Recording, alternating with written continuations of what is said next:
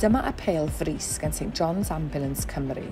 Mae Covid-19 yn dalu achosi dinistyr ledled Cymru, ond mae'n staff a'n gwirfoddolwyr yn gweithio'n ddiflino, ddydd a nos yn rhoi gofal hanfodol yng nghalon cymunedau Cymru.